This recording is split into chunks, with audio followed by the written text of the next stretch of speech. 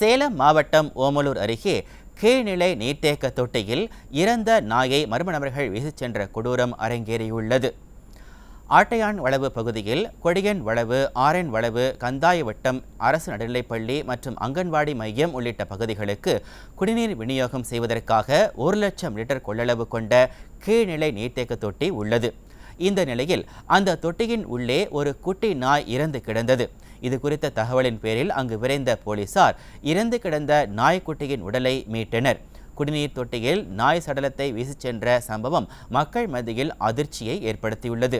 விடியா திமுக ஆட்சியில் குடிநீரில் மலம் கலப்பதை தொடர்ந்து தற்போது இறந்த நாய்க்குட்டியை வீசுவது தொடர்கதையாக இருப்பதாக மக்கள் ஆதங்கம் தெரிவித்துள்ளனர்.